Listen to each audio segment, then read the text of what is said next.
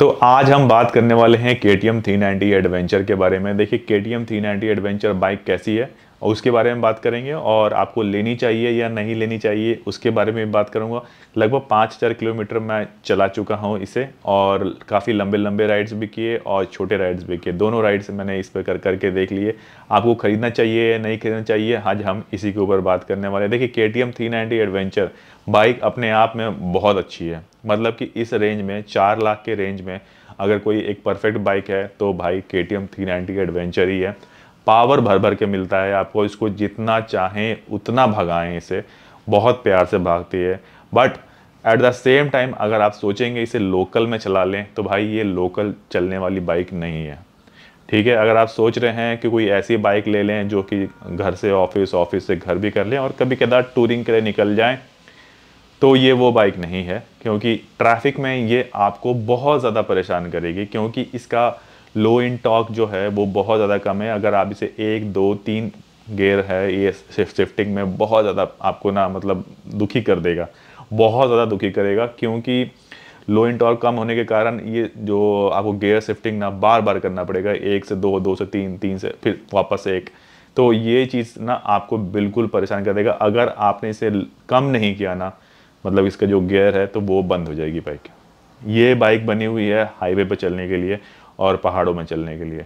अगर मैं अब बात करूँ कि फिर आप बोलेंगे पहाड़ों में तो आपको स्लो चलना पड़ता है तो फिर तो ये बाइक बार बार बंद होती होगी। नहीं, देखिए, वह पहाड़ों में जब हम चलते हैं तो इसको हम एक नंबर पर ही हम लगा के चलते हैं। मैक्सिमम मैंने देखा है मतलब पहाड़ों में मतलब ऑफ़ रोड की बात कर रहा हूँ मैं। ये चीज़ मैंने, जब मैंने K T M three ninety adventure के शोरूम इसमें गया था, एक ट्रेनिंग सेशन हुआ था, वहाँ गया था। तब इन्होंने बताया था कि आप आराम से इसे एक नंबर पर करके चला सकते हैं, अगर आपको ऑफ़ रोड करना है। तो उसमें कोई दिक्कत नहीं है। नॉर्मल पहाड़ों में आप चलाने के लिए जहाँ पर रोड है वहाँ पर आराम से आप चलाइए दो तीन चार ज, भी गियर आपको सुटेबल लगता है उसको आराम से चला सकते हैं। बट जहाँ ऑफ़ रोड और ट्रैफ़िक की बात करते हैं तो एक से दो महीना आपको बहुत बुरा हाल आपका होने वाला है। तो आप ऐसी ये बाइक मत लीजिए अगर आपको घर से ऑफ़िस ऑफ़िस से घर करना है तो। नेक्स्ट इसका जो रेयर सस्पेंशन है वो बहुत ज़्यादा ज़्यादा हार्ड है और सीट भी हार्ड है इसका ठीक है? मतलब जो उसका पिछला सॉकर है, वो स्टिफ है। मतलब कि आप अगर आप कंपेयर करेंगे बीएमडब्ल्यू से तो बीएमडब्ल्यू का सॉकर बहुत मतलब सॉफ्ट है। मतलब आराम से बाइक ऊपर नीचे हो जाती है बट ये नहीं होती है। आपको इससे आपके बैक में पेन होने ही वाला है और ज़बरदस्त होने वाला है। अभी जब मैंने लास्ट राइड किया था, करीबन 10-15 दिन मैं लगातार नेपाल में था और नेपाल में ये बाइक चलाई और वहाँ से वापस आया तो अच्छा खासा पेन मेरे बैक में हुआ। ठीक है? तो ये मैं आपको बात क्लियर कर देता हूँ। अगर आपके पास एयर सीट है, जो कि काफ़ी कंफर्टेबल होता है लॉन्ग राइड में, जो वो सीट आप ज़रूर बाई कर लीजिए। अगर आप प्लेन रोड पर चला रहे हैं तो इस तरह का एयर सीट पर चलाने से आप बिल्कुल कंफर्टेबल फील करेंगे। मुझे इस राइड पर बहुत ज़्यादा मतलब मुझे चीज़ें समझ में आई कि मुझे ये चीज़ें लेके आनी चाहिए थी, जो चीज़ें मैंने मिस कर दी। पहाड़ों में आप, हो सकता है ऑफ़ रोड में आप वो चीज़ें हटा दें बट कोशिश कीजिएगा कि अगर आप प्लेन रास्ते पर चल रहे हैं और लंबा लंबा आप राइड करने वाले हैं तो सॉफ्ट सीट जो है, वो ज़रूर अपने पास रखें। नेक्स्ट बात करता हूँ कि इसका गेयर जो इसका, जो गेयर चेंज करने का जो स्टफ़ है, वो देखिएगा, जब एक नंबर पर आप करते हैं तो बहुत ज़ोरदार आवाज़ आती है। Cut cut cut cut cut, बहुत ज़ोर की आवाज़ आती है। इतनी ज़ोर की आवाज़ आती है कि आपके जो बगल वाला राइडर है ना, वो वो उस गेयर का ना आवाज़ सुन सकता है, जब आप फ़र्स्ट गेयर में कर रहे हैं। ये बात को लेकर मैं के के सर्विस सेंटर भी गया और उनको भी इस बात सारी बातें बताई मैंने कि ये इतना ज़्यादा आवाज़ क्यों कर रहा है? तो उन्होंने कहा कि ये पहले गेयर पर ये इतना आवाज़ करेगा। ये पहले गेयर की बात नहीं है। अगर आप स्लो चल रहे हैं और आप सेकंड थर्ड भी आप, आप करेंगे ना अगर आप स्लो चल रहे हैं तो ये बहुत ज़्यादा आवाज़ करता है। ठीक है?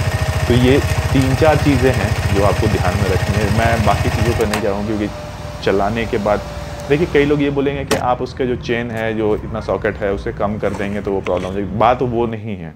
बात यह है कि जो चीज़ हमें मिली है, क्या उस, वो चीज़ सही है या नहीं है? तो इसमें ना ये सारी चीज़ें ना आपको मिलेगी। अगर अगर इसके, अगर मैं बात करूँ, आप अगर इसको लॉन्ग राइड पर लेके जाएँगे तो भाई ट्रस्ट में आप सबसे आगे चल रहे होंगे। इसमें कोई दो राय नहीं है।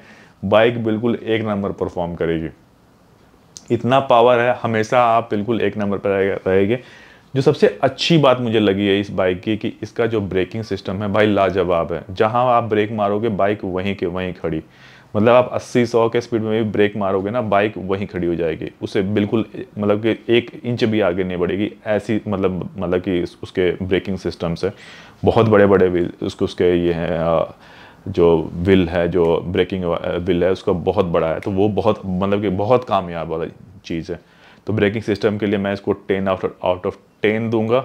और सीट के लिए अगर आप पूछेंगे तो सिक्स या सिक्स ही दूँगा, उससे ज़्यादा नहीं दूँगा। या रेयर सस्पेंशन के लिए मैं इसको फिर से सिक्स दूँगा। और गेयर चेंजिंग में शिफ्टिंग में जो इतनी सारी प्रॉब्लम्स होती है, उसके लिए भी मैं इसको सिक्स टू सेवन दूँगा। क्योंकि आप चला के देख लीजिएगा, लेने से पहले आप लोकल जगह चलाएँगे तो आपको चीज़ें समझ में आ जाएगी, मैं ये बात क्यों बोल रहा हूँ?